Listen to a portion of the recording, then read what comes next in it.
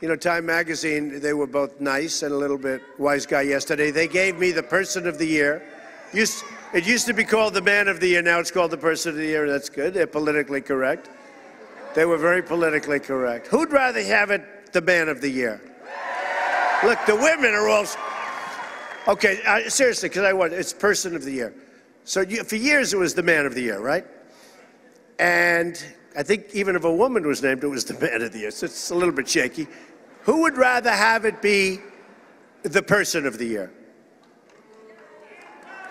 I got a lot of women here. What about the women? Let's do it again.